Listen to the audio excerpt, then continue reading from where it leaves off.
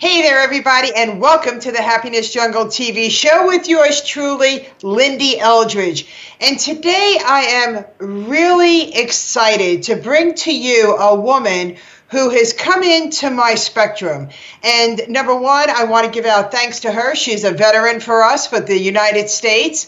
But more importantly, how much she is making a difference so much with people that have had a troubled past, whether they're ex offenders or juveniles that are really challenged with their past, she helps them have a brand new life. Of course, that's a willing matter. Everybody has to be willing to be able to change and to become a better person.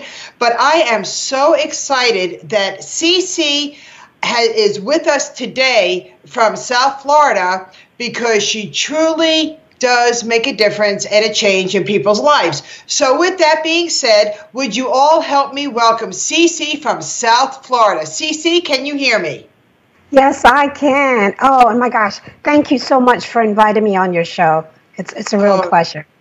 CeCe, I am so thrilled because what my show is all about is to make a difference in people's lives, to help our audience realize that there is hope and there are ways that they can better their lives, no matter what their past is, that they could change it. All they got to do is just step up to the plate, raise their hand, and say, I want more in life. So yeah. I can't wait to give you the floor and to hear, number one, share with us about your past and how did you become involved with living the passion of helping those that had a dark past have a brighter future? All right, so like you said, I am a former U.S. Marine. And right at the end of my career, I made some really bad decisions, like one after the other after the other. And I ended up in prison for drug conspiracy. And it wasn't until I was leaving and a guard just pleasantly said to me, See you soon, that I even realized that I had a choice. You know, I, I don't know what I was thinking was going to happen. I, I really wasn't thinking at all. And so when she said that to me, it suddenly made me start thinking, like, okay, I need to make some better choices, mm. or I'm going to end up back here. So that's how my journey started. How long were you in prison? I was in prison for two years, and wow. I served almost a year in solitary confinement. Wow, I can't even imagine that.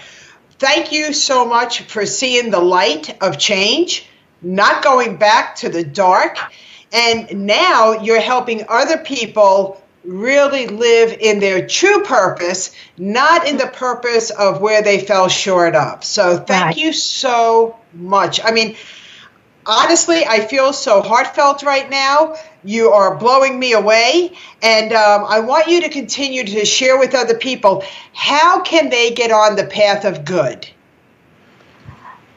So, in this area of re entry, as I like to call it, you know, there are people who are pr- there to prevent people to go, going to prison, and there are people who minister to people when they're in prison. What I really focus on is your mindset when you come out of prison. And I deal one on one, giving people hope, letting them know that, hey, you can clean up your record and you can live a different type of life if you choose to. But the choice comes from within. And so it's a lot of one on one conversations, a lot of conversations where I'm not gentle and I'm not kind. I'm just telling them like it is.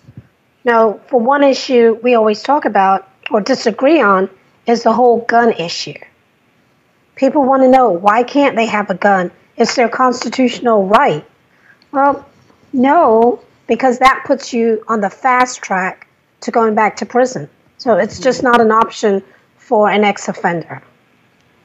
Wow. Wow. That's crazy. So it's really helping them change their mind of thought. Correct. What they feel is Correct. right and what is how, how do you really want to live in society? You know, when we mm-hmm. live in society, there's there is no there is no logical rule, is what I'd like right. to say. You know, you came from a very hard past. I came from a very hard past. There is no logical rule except for fitting into society the best way that we can, and we mm-hmm. have to learn how to do that. That's a learning process, and learning how to change and learning how to accept change is very very powerful. Can you touch on that? Well, you know, going back to the whole gun situation. So, inevitably, guys will tell me the reason they need a gun is to protect their families. You know, they want to be there for their families. And I tell them, like, listen, I can tell you what every woman wants. And they go, like, really? I'm like, yeah, I can tell you the big secret. We want you at home. We want you to be at home at night. You know, we don't care that you've got a gun and that you can come out like Rambo. We want you there at night. We want you to eat dinner with us. The kids want you there. And so you can protect your family best by being there with them, teaching your sons and your daughters how to read, you know, that kind of stuff. Eating dinner with them, showing them what family life is, and not be away, as we say, you know, every time somebody says, oh, my dad or my mom is away, they mean they're in prison. That's that's not right. That's not right. So it really is all about your mindset, thinking differently, and what do you want your life to look like. Mm, that's beautiful. And you know, I have um a stepson, and he was also in prison. He was involved in the gangs, and I'm going back many, many years ago in the California gangs, the Crips. Mm-hmm. And uh, I remember when he came out of prison and he said, All I want to do is change my life. I want to be on the straight and narrow path. And I said, I love that, and I'm here for you 110% because I believe that everybody can change. I know that for a fact. And mm-hmm. when he got out, the first thing he asked, which is what you just mentioned, um, I want a gun and I want to sleep with the gun. And I said, Now, why would you want to do that if you're trying to change? And he said, Because it's my security. I feel safe with that. So I said to him, and I said, But wouldn't it be better to change your address? Mm hmm. Mm hmm. Yeah. So, and today I'm very proud of him. Uh, he has a beautiful family. He has a wonderful job. He's living in society without a gun under his pillow. Right, right. And it right. took time. It takes a lot of time because they have that mindset. And it, again, it's all a matter of do you also suggest that they start reading or listening to self help, personal development audios to understand that they really truly have greatness within. And that's from our wonderful Mr. Les Brown. Do you okay. do that as well? So I'm I'm here laughing like crazy because when I was in solitary confinement, I only was allowed to have two books. And I'm a reader at heart. I can read a book in a day. And so I truly believe that that's what saved me. One of the books I was allowed to have was a Bible.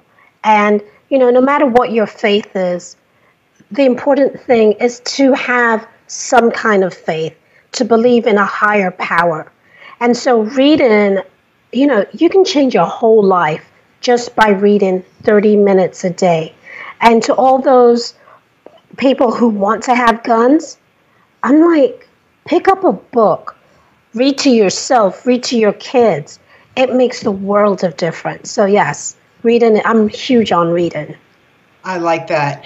And I also share with a lot of my clients that came from a troubled past, especially when they're parents, is that don't you want to raise your children believing in something better than mm-hmm. what your past was and where it led you. Don't you want your children to believe that there's something that, don't you want to become a positive mentor in their life and say, my yes. parents had this background and look at them now. They're my mentors, they're my everything. Wouldn't you rather your children, your nieces, your nephews, your friends' children, to wrap themselves around that instead of following the dark path?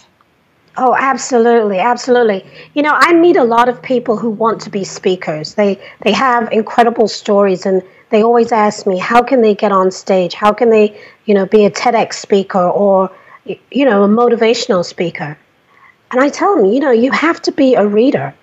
And one of the best things that you can do to be a speaker is to read out loud.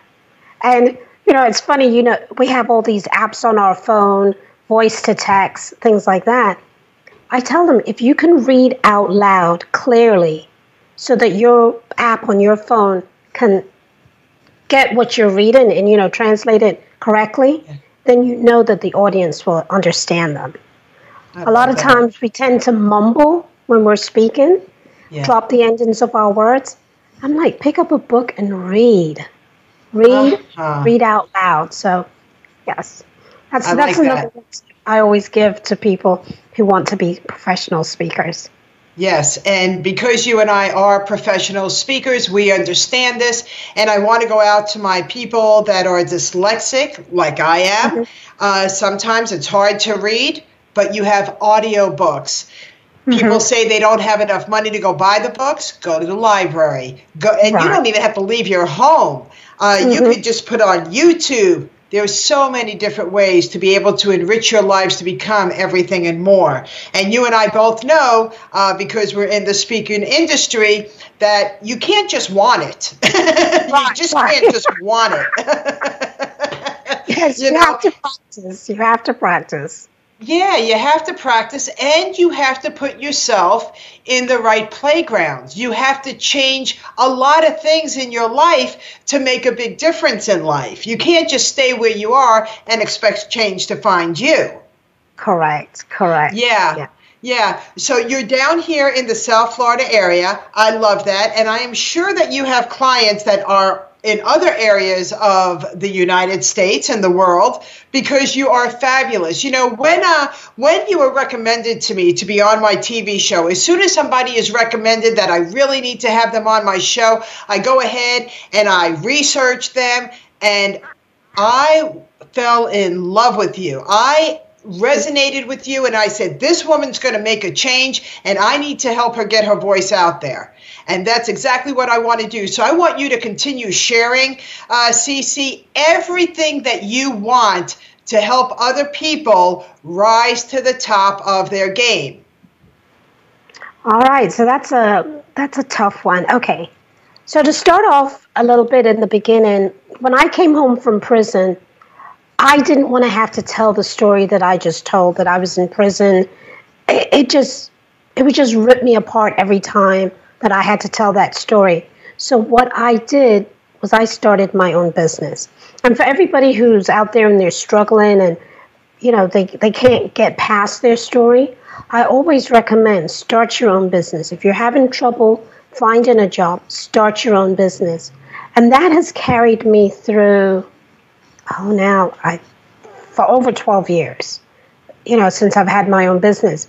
And now when I talk about, when I have clients, I get to tell them my story in my own way. But what it also did was it gave me the freedom that I can go into the prisons and I can go into the drug rehab centers and encourage others and show them that there's hope. So that's kind of what I do. I like that. What was your first business? Oh, photography. Photography. photography. Yes, yes. There yes. you go. Yes. How long have you been a photographer? I think I was born with a camera in my hand. But it, was, uh, it was about 1997, maybe 99, when I started my photography business. Yes. Ah. And I've never looked back since. You know, I've worked wow. here and there, but I have not worked for anybody since I think maybe 2008. Yeah, I've been self-employed since 2008. Yeah, yeah. So, what you just shared with everybody is that there's a purpose within them and there is passion, and they already have it within them. They just need to step into it, just like you did. You recognized it. You just said it. You know, you think you were born with the camera in your hands. And then, as soon as you saw that there was you know there was the only the only thing that you could think of to making money and to getting back mm-hmm. into society was to bring back your passion. And yes. you did it through right. photography. So thank you. Mm-hmm. Tell me about the book or books that you have written. Um, tell me about those because you're also an author. Right. So the way I started writing, I started speaking, was that most of my clients are business owners who are speakers and authors. And so, you know what they say if you've got nine friends that are speakers and authors, you'll be the 10th one. And just in being around everybody, they, they would say to me, CeCe, what's your story? You know, you just come in with your camera, you do your thing, and then you leave. So when I finally started opening up about my story and my background, they were like, girl, you know, you need to tell everybody. And I was like, no, not really. This is not polite dinner conversation. But when I felt comfortable enough, I started telling a few friends and then just letting the word get out. And so many people were calling me, asking me, you know, how can they get their records sealed, expunged, or pardoned? That I actually wrote it. I actually had to start writing down the answers and then just telling people, like, hey, I'll send you the PDF, I'll send you the ebook. And from that, it became an actual book. So that's that. That was my path. That's crazy. That that is such a beautiful story. And what I have found, because I'm author of, a, of many books as well, that when you when you are ready, and it, you have to be ready, just like you were mm-hmm. ready to step into your story, to allow it to be heard, um, it sets you free doesn't it? Yes. It yes. sets you free. And I remember one time I had my daughter on the show, and uh, she was a cutter. And she never told her story ever. And I didn't want her to say anything that she didn't want to say. And that day that she was on my show, this was probably about two years ago, she shared it. As a matter of fact, I was shocked. I almost fell off my chair that she shared oh, it. Wow. When wow. the show was over, she said, Mom, I feel like weights have been lifted off my shoulder.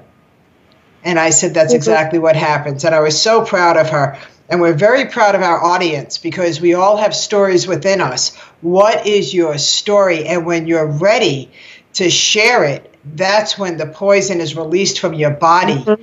and it's yes. a beautiful feeling it's a yes. beautiful feeling yes yeah yes that is so true that is so mm-hmm. true you know our, our our the mess that we are going through it's yeah. when we tell it it helps somebody else yeah. you know and then we realize that hey we're not alone so that that's why i really believe we're here to share our mess I think so too, because I know that every time that I either speak on stages or somebody is attending my workshops or it's my client, they're like, You've made such a difference. You allowed me to walk out of my mm-hmm. own shell. That's the greatest gift. That's right. the reason that we do what we do.